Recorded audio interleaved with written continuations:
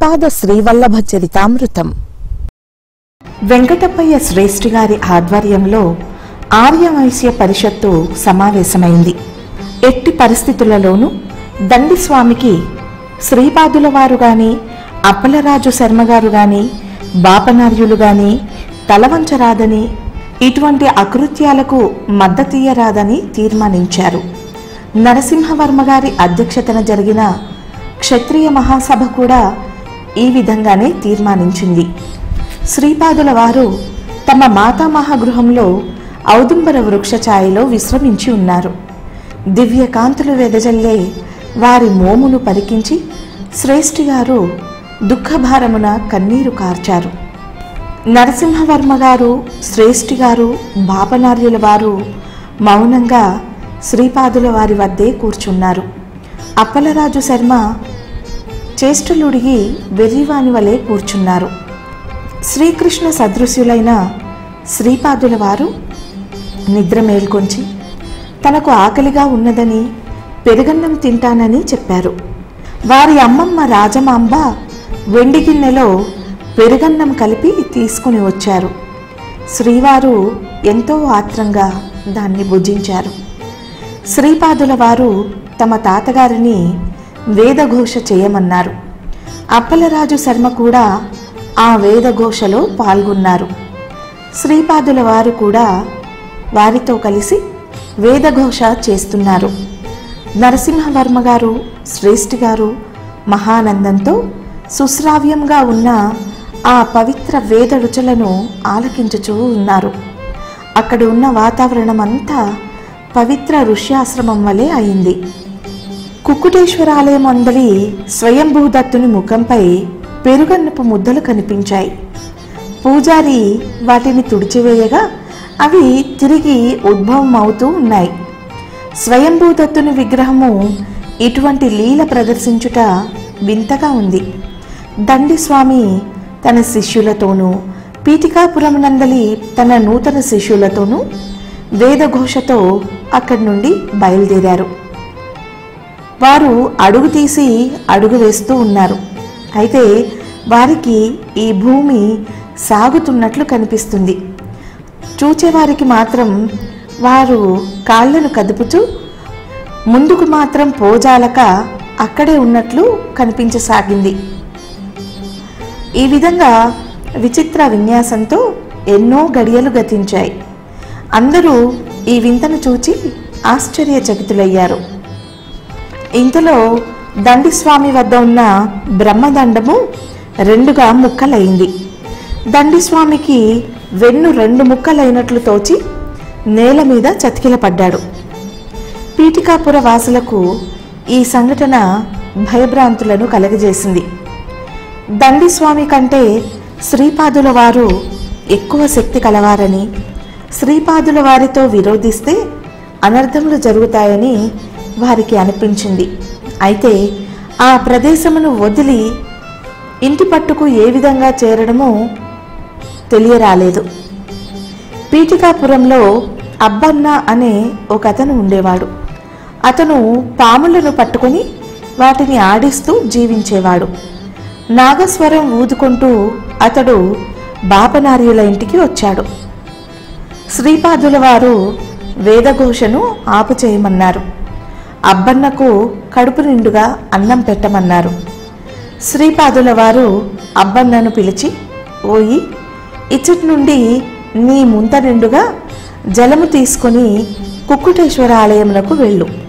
దత్తప్రభువు యొక్క అవతారము కరచరణాద్వయములతో శ్రీపాద శ్రీవల్లభ రూపంలో పీఠికాపురంలో సంచరిస్తూ ఉండగా అకారణ నింద చేసిన మహాపాపులు కుక్కుటేశ్వర ఆలయంలో ఉన్నారు. వారికి చిత్రగుప్తుల వారు మరణానంతరము పిశాచ జన్మ కలుగునట్లు తీర్మానించారు.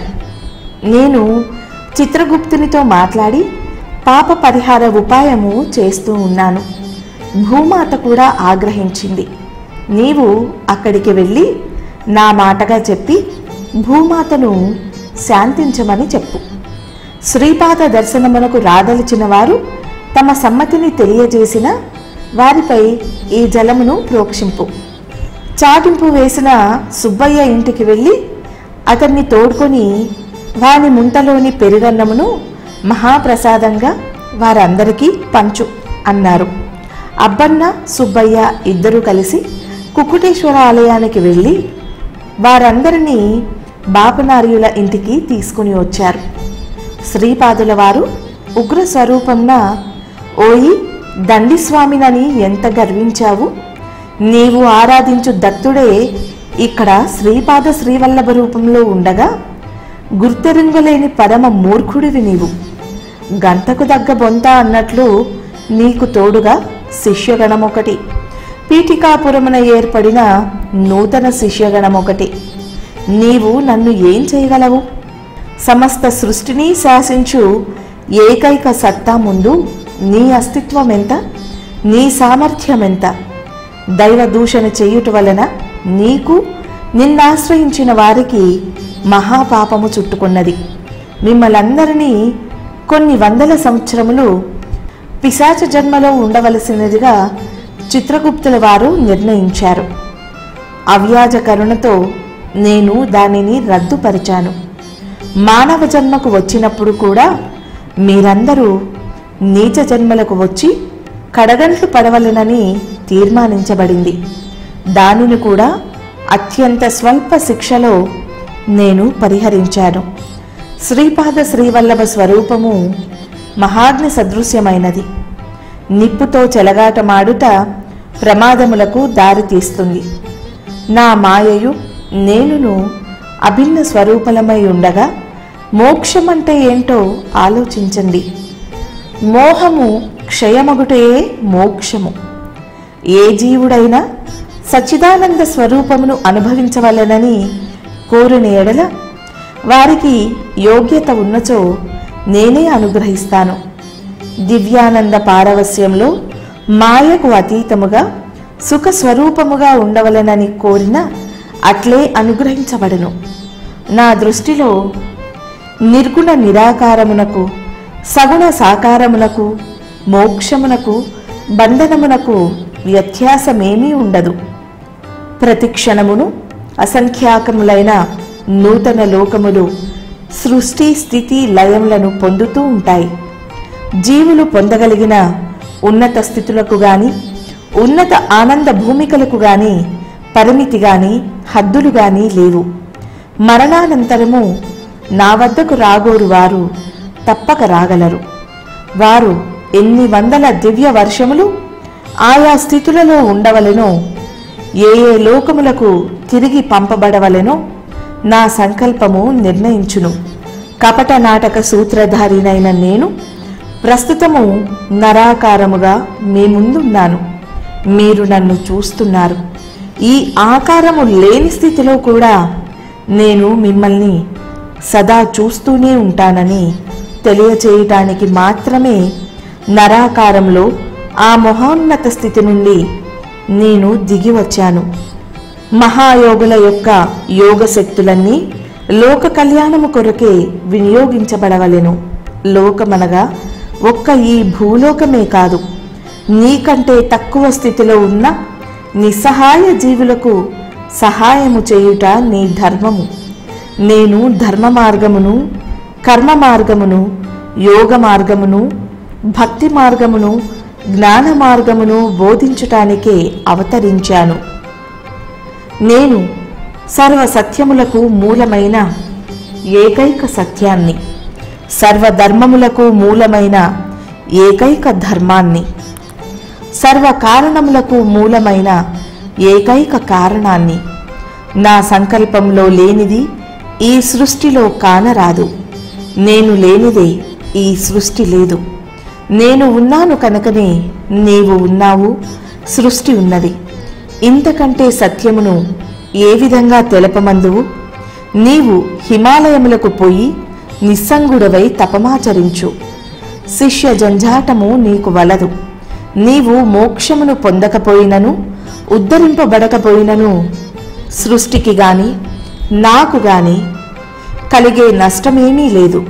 సృష్టిలోని కార్యక్రమములు యథావిధిగా నిర్వర్తింపబడుతూనే ఉంటాయి. ఇది అసలు ఉన్న విషయము. పీఠికాపురమున నూతనముగా ఏర్పడిన శిష్యగణము నీకు తోడుగా కదిలివచ్చుట ఒంటెల వివాహమునకు గాడిదల సంగీత కచేరీ వలె ఉన్నది. ఒంటెల అందమును గాడిదలు పొగుడుచుండగా గాడిదల సంగీత మాధుర్యమును ఒంటెలు పొగుడుచున్నవి. పరస్పరము ఈ విధముగా ప్రశంసించుకున్నను యథార్థము మాత్రము వేరుగా ఉన్నది అని హితబోధ చేశారు.